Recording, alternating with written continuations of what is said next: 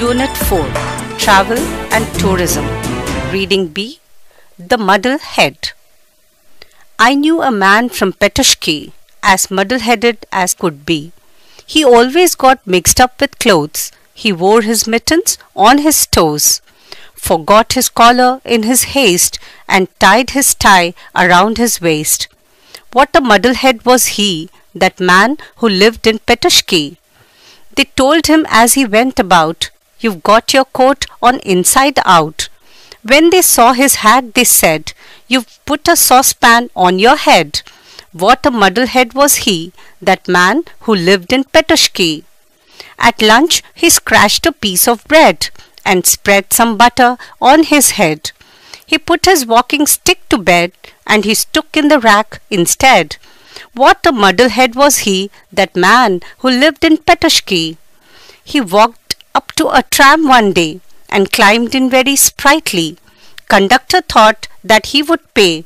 Instead, he said politely, Pardon your begging, Kister Conductor. I'm off for a week's vacation. I stop you to beg your tramway tar as soon as we reach the station. Conductor got a fright and didn't sleep that night. What a muddlehead was he, that man who lived in Petushki. He rushed into the first cafe. A railway ticket, please, one way. And the ticket office said, a slice of tea and a cup of bread. What a muddlehead was he, that man who lived in Petushki. He passed the man collecting the fares and entered a carriage awaiting repairs that stood on a siding all by itself. Half of his luggage he put on a shelf, the rest on the floor, his coat on his lap, and settled himself for a bit of a nap. All at once he raised his head. I must have been asleep, he said. Hey, what stop is this? he cried. Petushki, a voice replied.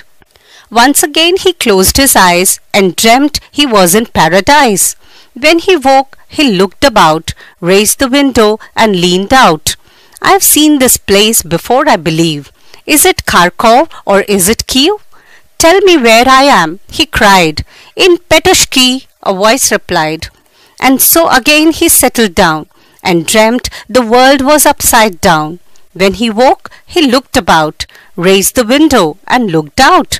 I seem to know the station too. Is it Nalchik or Baku? Tell me what it's called, he cried. Petushki, a voice replied. Up he jumped. It's a crime. I've been riding all this time, and here I am where I began. That's no way to treat a man.